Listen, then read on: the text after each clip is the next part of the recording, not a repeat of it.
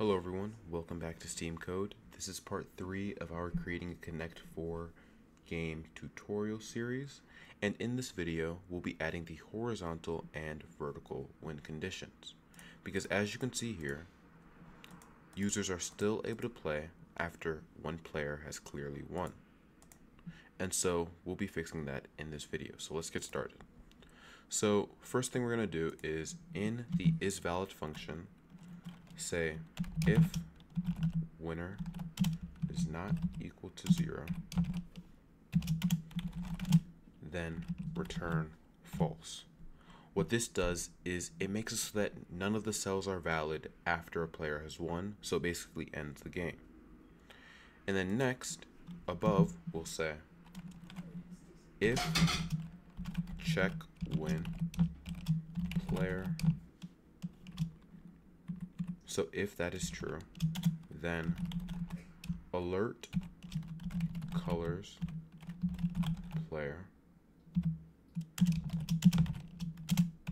has won and then we'll set the winner to the current player so what this does is it checks the winner.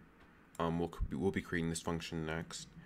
It checks if the current player has won, and then it alerts that that player has won, and it sets the winner to that player so that no one else is able to play the game after. So now let's actually create the function. So down here we'll say function check win. And then we'll have one parameter, p, and so first we'll set var chain to zero.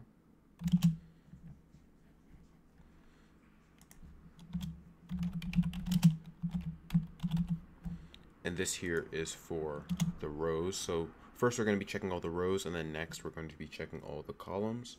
So let's create a for loop. So for var i equals 0, i is less than 42, i plus equals 7. So this will iterate through each row. And then within this, we'll say for var j is equal to 0, j is less than 7, j plus plus. This will iterate through each cell within each row. Then var cell is equal to hash plus i plus j. So this sets the current cell.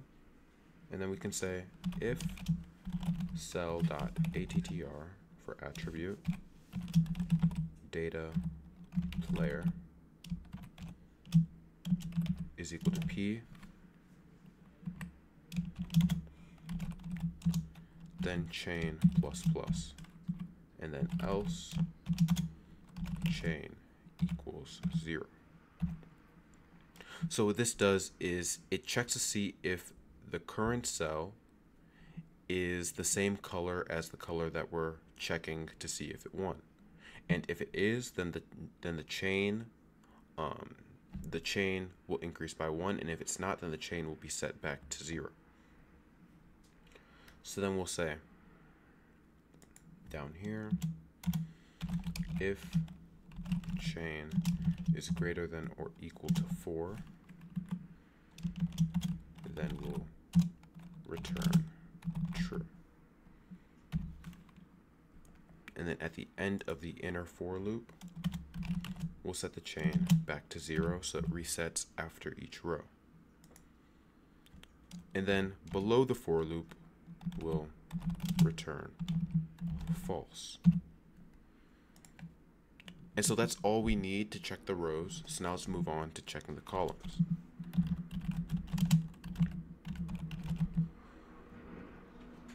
So we'll set chain back to zero.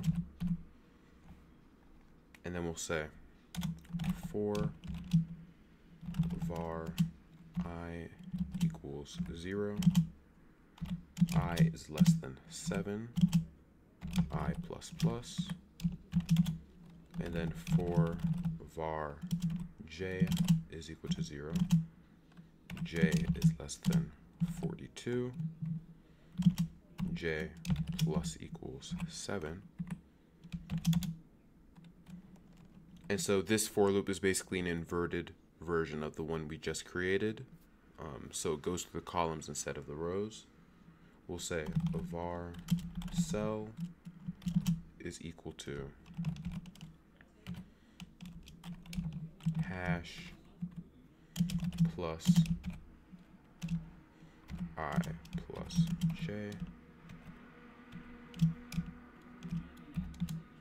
and then if cell dot attr data player is equal to p then chain will increase by one. And then else chain will be set back to zero. And then just like before we'll say if chain is greater than or equal to 4, then we return true. And then set chain back to 0 at the end of the inner for loop. Alright, so let's, test how it works. Red has 1. We can try playing again as we as you can see we're not able to because none of the cells are valid now that a player has won. We can try for we can try for the columns or we can try for the rows now. Red has won. All right perfect. So if you enjoyed this video please like and subscribe. In the next one we will be setting diagonals. Um, that's a little more involved so that's why I didn't add it to this video but if you have any questions, do not hesitate to leave them in the comment section down below. Thank you for watching. I'll see you next time.